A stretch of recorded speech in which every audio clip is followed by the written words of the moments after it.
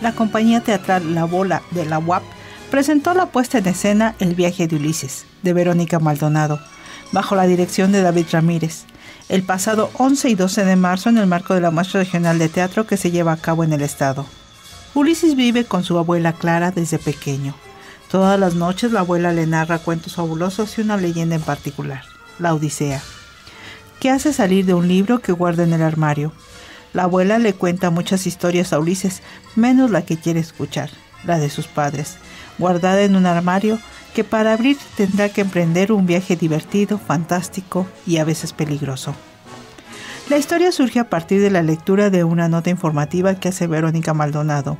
En ella se habla del caso de una pareja de activistas colombianos que fueron sustraídos de su hogar, quienes antes de que se consumara el delito lograron esconder a su hijo en el closet.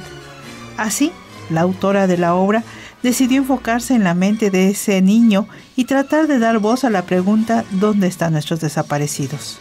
Con una escenografía variada que incluye efectos especiales, esta pieza le habla de manera amena a los niños acerca de la violencia y las desapariciones forzadas, un tema que se vive día con día en el país y que los niños ven y escuchan en la televisión sin terminar de entender de qué se trata.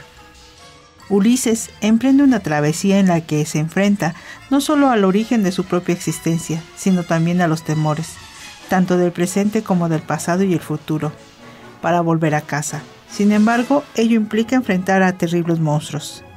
La muestra regional de teatro de la zona centro continuará el próximo 18 y 19 de marzo con la presencia de Oaxaca y la obra El diario secreto de Desdemona.